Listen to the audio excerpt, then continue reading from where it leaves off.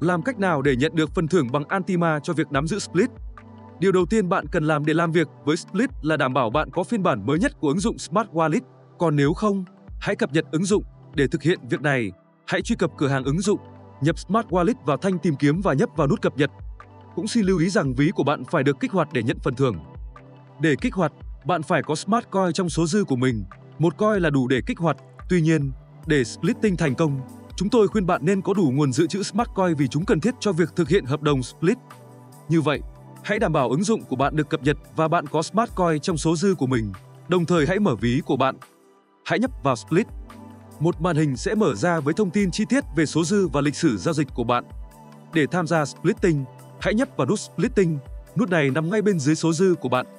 Xin hãy lưu ý ngay lập tức rằng Splitting yêu cầu phải có Smart Coin trong số chúng cần thiết để thanh toán cho việc thực hiện hợp đồng Split. Nếu bạn không có đủ số lượng Smart Coin, bạn sẽ được yêu cầu nạp số dư của mình. Nếu có đủ số coin trong số dư, một cửa sổ sẽ mở ra với thông tin về trạng thái Splitting hiện tại. Trên màn hình mở ra, bạn sẽ có quyền truy cập vào các thông tin sau. My Supply, số lượng Split token trong số dư của bạn. Total Supply Supply, tổng số lượng Split token trong blockchain. Daily Reward, số lượng Antima token hàng ngày được phân chia giữa những người nắm giữ Split. Block for Having hiển thị khối hiện tại trong blockchain. Hiển thị khối cuối cùng trong giai đoạn halving hiện tại. My Estimated Reward, giá trị gần đúng của phần thưởng cho tất cả các split có thể tham gia splitting. Xin lưu ý rằng nếu bạn nhận được token đến địa chỉ của mình chưa đầy 24 giờ trước, bạn sẽ không thể yêu cầu phần thưởng. Để tìm hiểu xem token nào đã sẵn sàng cho splitting, hãy đi tới phần Split Detail bằng cách nhấp vào Mi Supply. Bạn sẽ thấy token nào đã sẵn sàng nhận phần thưởng cho chúng và token nào thì không. Tất nhiên, bạn có thể nhận phần thưởng, nhưng nó sẽ chỉ được ghi có cho những split đã tồn tại hơn 24 giờ. Đồng thời, sau khi nhận được phần thưởng, tuổi của tất cả các token split sẽ được đặt lại. Sau khi đảm bảo rằng tất cả các token đã sẵn sàng, hãy quay lại phần splitting bằng cách nhấp vào mũi tên ở phía trên bên trái màn hình và nhấp vào nút Claim Reward để yêu cầu phần thưởng từ blockchain. Một màn hình xác nhận sẽ xuất hiện. Vui lòng lưu ý cảnh báo về phí bằng Smart, nó có thể đạt tới 100 Smart.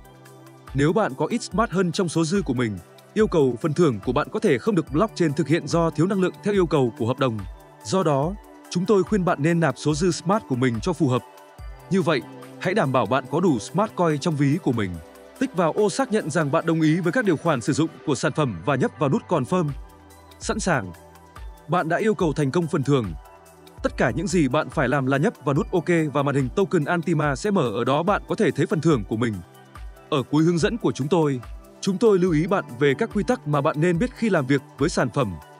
Bất kỳ giao dịch gửi đi nào của các split token, ngay cả khi đó là một trên 1000, sẽ đặt lại tuổi của tất cả các token.